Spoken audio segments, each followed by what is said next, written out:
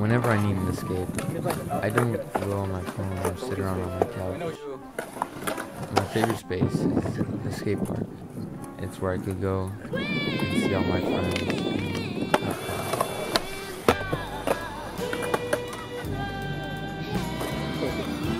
and as long as you're on wheels, you're gonna fall. Like, a lot.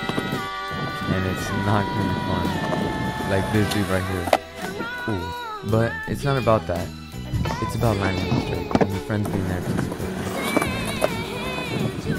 There's just something about the sun hitting your face and the sound of the wheels hitting the coconut. It's a very relaxing feeling. So, let's watch my friend.